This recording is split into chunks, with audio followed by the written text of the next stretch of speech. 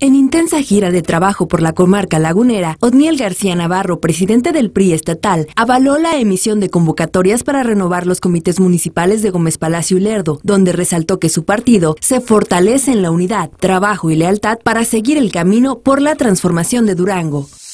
Acompañado por Carla Soto, secretaria jurídica, y Ernesto Alanís, de organización, reconoció a los priistas de esta región por los buenos resultados obtenidos en 2013 y los convocó a seguir adelante, como ha sido el ejemplo del gobernador Jorge Herrera Caldera y el presidente Enrique Peña Nieto.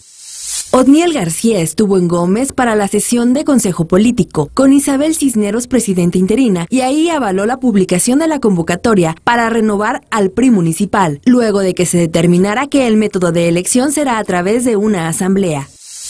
Igualmente ocurrió en Lerdo, con su líder Rosario Méndez. Ahí pidió el respaldo para Miguel Campillo y Luis de Villa, que son garantía de buenos gobiernos como los del PRI.